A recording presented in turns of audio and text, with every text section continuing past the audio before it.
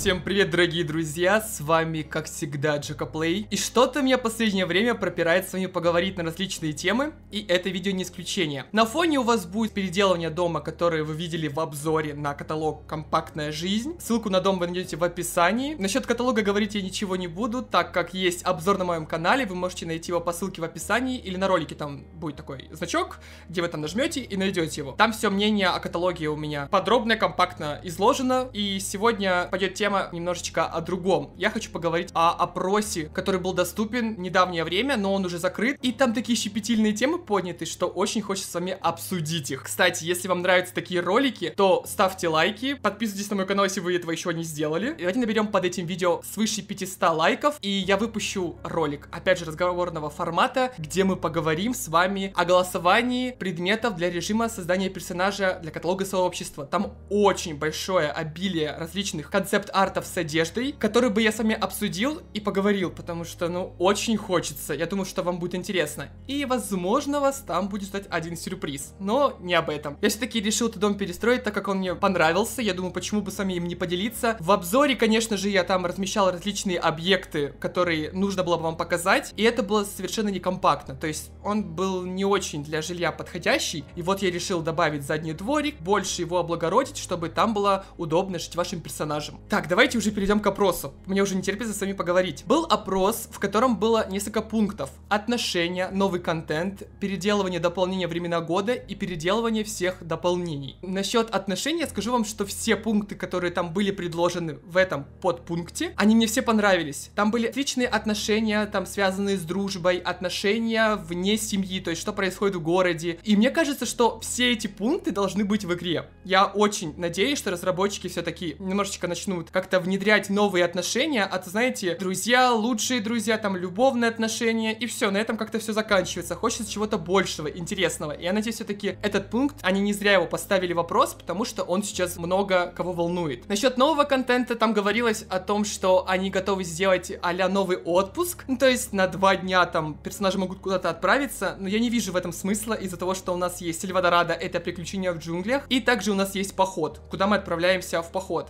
Гранит Фоллс. Хотя, если новая локация будет, было бы неплохо. Ну, опять же, там фигурируют как два дня, выходные. Не знаю, посмотрим, что бы они там предложили. И очень была щепетильная такая тема в этом пункте. Это создание своего отеля и развитие его. Я очень жду, что же разработчики все-таки выпустят игровой набор, связанный с этой тематикой. Было бы реально неплохо, мне кажется, из-за того, что вспомним рестораны, как они проработаны, как они сделаны. У них очень хороший функционал, связанный с ведением ресторана, с развитием его, также с созданием. И мне кажется, что отели были бы просто потрясающим игровым набором наравне с ресторанами. Я очень надеюсь, что все-таки разработчики его выпустят. И нового контента больше ничего так сильно мне не понравилось, только вот отели меня, честно, сильно зацепили. И самое интересное, это мое любимое дополнение времена года. Разработчики в этом пункте говорят, что они готовы переделать зимние забавы в этом дополнении и добавить катание на прудах, катание на санях, на лыжах ходьба, еще на сноуборде катание. Мне кажется, что было бы интересно, если разработчики все-таки все-таки будут развивать эту тему и больше добавить зимних всяких классных штук, плюх в это дополнение, так как э, вот не хватает зимой чего-то такого вот э, зимнего,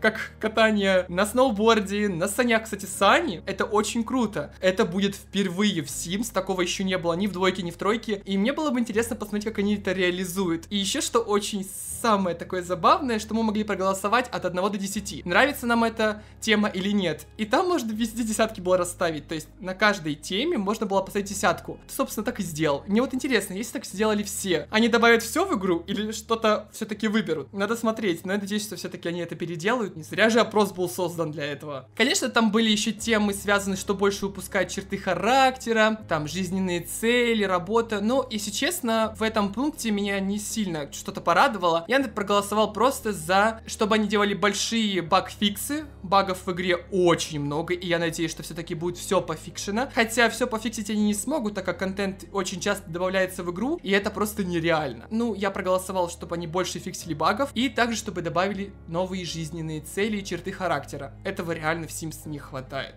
Что-что, вот карьеры вроде они есть, они добавляются очень часто и очень много, даже с обновлениями добавляются, а вот черты характера приходят не всегда. Их реально не хватает. И самое мое любимое и последнее в этом опросе было, что разработчики готовы переделать дополнения, которые были выпущены на данный момент. Игровые наборы и дополнения. Туда даже входит в университете, которое было вот одной из последних. Мне закрадывается мысль, что что-то в студии начали сильно беспокоиться о контенте, что они готовы даже переделать три игровых набора или, или дополнения из этого списка. Конечно же, без сомнений, я выбрал это «Веселимся вместе», «Жизнь на острове» и, если честно, я выбрал времена года, ну, чтобы, знаете, наверняка они его переделали. «Веселимся вместе» очень красивый город, и я этого отрицать никогда не буду. Он является одним из самых лучших городов в Sims. Он большой, очень разносторонний, скажем так, по стилям, и в нем приятно жить. Это факт. Но город, клубы и просто какая-то там маленькая тусня, этого очень мало для дополнения. Все-таки дополнение это большое расширение для игры Sims 4. И добавлять только клубы и город, и считать это большим дополнением, ну такое себе. И я надеюсь, что все-таки они что-то еще новое добавят в этот доп, и он будет более наполненным. Я даже помню, было, когда его только анонсировали это дополнение, один из зарубежных игроков создал огромнейшее видео, там минут на 20, по-моему, на 30, и рассказывал, почему это дополнение не очень хорошее. И оно набрало 2 миллиона просмотров на тот период, потому что реально все были озабочены тем вопросом, почему такой доп сырой. И я буду надеяться, что разработчики все-таки исправят эту дыру в этом дополнении. В Солане я выбрал то, что исследовать океаны нам нельзя, работы и карьеры все закрытые, плавание, русалки, это маловато для допа. Город красивый, я не отрицаю опять же. Многие из моих коллег по цеху и друзей не сильно впечатлены дополнением в университете, и на вопрос, отправятся ли они второй раз в университет, многие сказали, что нет, так как им одного раза хватило. Я думаю, что здесь комментировать просто нечего. Вкратце расскажу, что из игровых наборов я бы, наверное, все-таки изменил бы день спа, так как там только навык и новый тип участка. Ну и вот эти всякие процедуры, этого маловато. Если просто сравнить приключения в джунглях, вампиры, этого реально мало. И также я бы, наверное, переделал мир магии, так как он все равно является каким-то сыроватым если честно. Вот такие мысли у меня получились о данном опросе. Мне будет интересно узнать ваше мнение, каково оно. Обязательно делитесь в комментариях, так как каждое мнение важно для меня. Мне очень интересно узнать, как думаете вы. Ну серьезно, многие дополнения игровые наборы являются сырыми и чего-то в них не хватает. Я могу просто каждому допу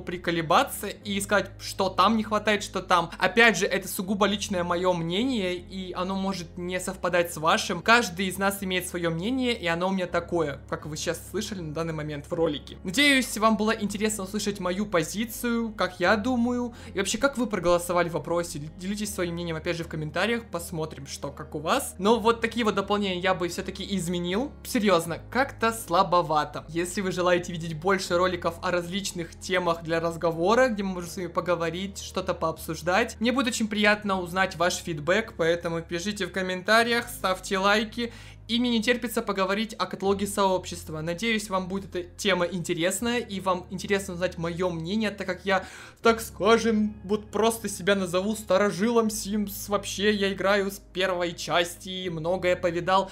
Опять же, я не отрицаю того, что я многое что-то для себя открываю впервые, что-то я могу не знать, например, делая те сравнения, которые вы видите на моем канале, я сейчас ссылаюсь больше на источники с информацией. Это SimsWiki, это какие-то фан-сайты, где много-много всякой различной информации о том или ином дополнении, каталоге и вообще, что вообще происходит в Sims 3, 2. Я не могу быть в Википедии и знать все. Ну, как бы логично, каждый из нас не может быть просто Википедией. Все равно в четверке, если честно, все как-то поверхностно, просто как-то весь контент поверхностный, нам его демонстрируют до выхода до дополнение. Просто в анонсе нам сливают весь геймплей, ты такой думаешь, потом играешь, такой думаешь, а я это уже видел, а это я тоже уже видел, а это все, ну как-то так. Поэтому мы немножечко и осуждаем четверку, нам она чем-то не нравится, из-за того, что все как-то поверхностно. Вот так выходят дополнения, ничего с этим не поделаешь, к сожалению. Хотя хотелось бы чего-то интересного. Надеюсь, все-таки нас порадуют чем-то. Как вы думаете? Я думаю, что да. Обязательно подписывайтесь на мой канал, если впервые смотрите это видео. Не забывайте также подписываться на мои социальные сети, ВКонтакте, Инстаграм, Твиттер, я там везде. За всеми бдю, слежу, сижу, буду вас там ждать. Всем огромное спасибо за просмотр. Скачать участок вы можете по ссылке в описании в галерее по оригину моему ID Jacka Play. Всем новых встреч и всем пока. Увидимся в следующем ролике.